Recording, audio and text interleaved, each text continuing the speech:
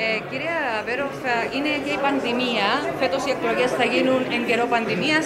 Είναι και αυτή η, η δυσφορία του κόσμου για πολλά πράγματα που γίνονται αυτές τις ημέρες. Ένα από αυτό ήταν και οι πανηγυρισμοί των οπαδών της Ομόνιας. Εσείς πώς σχολιάζετε το όλο ζήτημα, διότι ο κόσμος στερήθηκε πάρα πολλά και γίναμε μάρτυρες όλων εκείνων των εικόνων προχτές.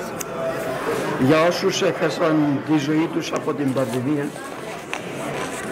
για όσους είδαν δικούς τους ανθρώπους να χάνονται, για όλους εκείνους τους μαχητές στα νοσοκομεία, νοσηλευτές και γιατρούς που δίνουν τη μάχη, για το σύνολο των Κυπρίων πολιτών που υπόστηκε περιορισμό των βασικών του ελευθεριών, για όλους τους εργαζόμενους του τόπου και τις μικρομεσαίες επιχειρήσεις που είδαν τα εισοδήματα τους να πλήττονται, θεωρώ πως ελάχιστος σεβασμός δεν βλάπτει.